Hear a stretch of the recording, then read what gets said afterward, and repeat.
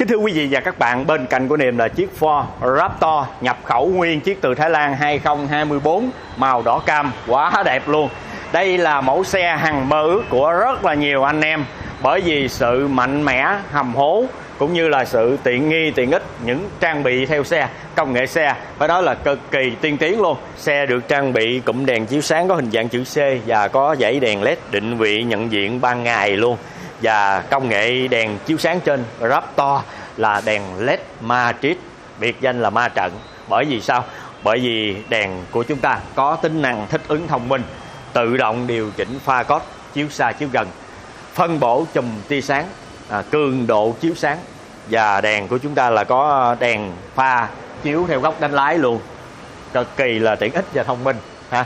Đèn là có chống chói tự động luôn nha quý anh chị em và đèn gầm cũng vậy luôn là đèn led nha. Bên cạnh đó thì xe của chúng ta có công nghệ lái xe an toàn chủ động à, radar phía trước nè. Và radar phía trên kính chắn gió thì có tác dụng là giữ khoảng cách hỗ trợ phanh hỗ trợ bám đuôi xe phía trước hỗ trợ đánh lái tránh va chạm định tâm làn đường duy trì tâm làn đường chống lệch làn và xe của chúng ta thì có luôn camera 360 độ ở ngay vị trí camera phía trước thì quý vị có thể thấy một cái len để xịt rửa khi mà xe à, bị bám bụi bặm bùn sình phía trước đầu xe thì quý vị có thể thấy là bốn cái nút cảm biến nè. Và bên hông là có hai cái cảm biến nữa. Tổng cộng phía trước là có tới 6 cái nút cảm biến.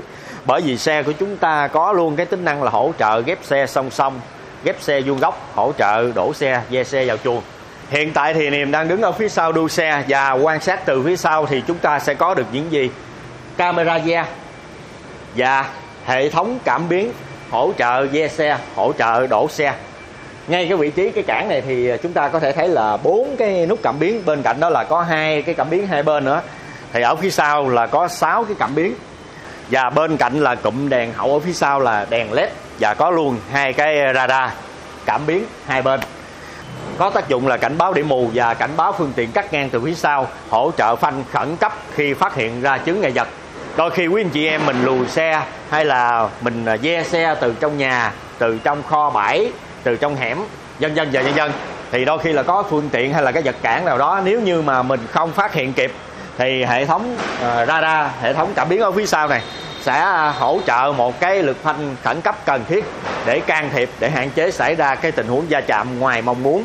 Mình cảm thấy là cái cái cái cái trang bị radar hệ thống cảm biến phía sau này cái tính năng an toàn thông minh này mình cảm thấy rất là hữu ích nha quý anh chị em. Và bên cạnh đó là chúng ta sẽ có thêm là hai cái móc cứu hộ nhìn thấy khá là to và khá là lực lưỡng để giúp cho quý anh chị em khi mà mình đi chơi đi phượt đi off road à, băng đường trèo đèo lội suối rồi đó. Đôi khi là mình đi uh, chung với phái đoàn ha. À, mình đi chơi chung với anh em à, cần cứu hộ thì à, mình sẽ trợ giúp anh em chắc có lẽ là niềm không cần phải giới thiệu nhiều về cái à, phần à, cái thùng bán tải ở phía sau bởi vì à, ai cũng đã hiểu được tác dụng của cái thùng ha. Rất là tuyệt vời khi mà quý anh chị em sở hữu một cái chiếc Raptor cơ bắp lực lưỡng như thế này đây. Mặc dù cái chiếc Raptor thì có cái xác là nặng hơn kể cả Ford Red luôn nha quý vị. Và bên cạnh đó là gì? Cũng sử dụng à, chung cái hộp số 10 cấp và cần số luồng điện tử gài cầu chuyển cầu bằng núm vặn điện tử và cái động cơ cũng là 2.0 ha. Và bi turbo hai turbo hai cầu luôn. Đó nhưng mà trên uh, Raptor cái độ cách âm thậm chí là im hơn cả Ford Everest bản titanium cao cấp hai cầu. Và cái uh, cái cái uh, sức mạnh đề ba nè cũng như là khả năng tăng tốc đồ nè rồi cảm giác lái rồi nè à, là hơn cả phiên bản titanium cao cấp uh, Ford Everest hai cầu luôn. Đó bởi vì sao? Bởi vì à, mặc dù là động cơ là, là là được trang bị là như nhau nha nhưng mà trên Raptor thì đã được à, tinh chỉnh cũng như là hiệu năng cao. Đó à, giúp cho xe tối ưu hóa đạt được cái hiệu năng cao. Thành ra là vừa cách âm tốt là vừa chạy bốc chạy giọt. Cho nên là niềm đã cho khách hàng lái thử Ford Everest bản titanium cao cấp hai cầu với Raptor thì không riêng gì niềm mà khách hàng của niềm đều cảm thấy là trên Raptor là êm hơn ha bởi vậy mới ờ, xứng đáng với ờ, cái ờ, biệt danh là khủng long đường phố. Đó, mặc dù là trang bị là như nhau.